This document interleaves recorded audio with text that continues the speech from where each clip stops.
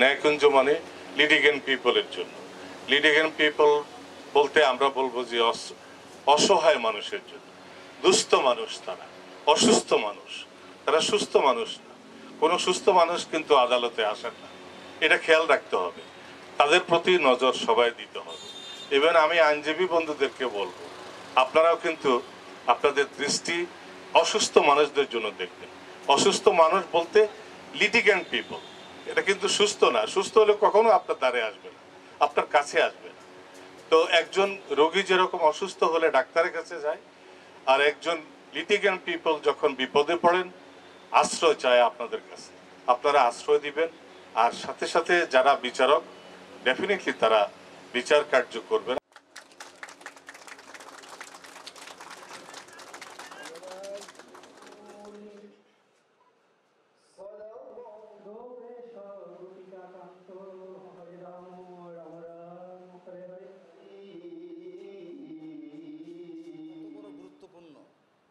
যে মানুষটা ওখানে বসবেন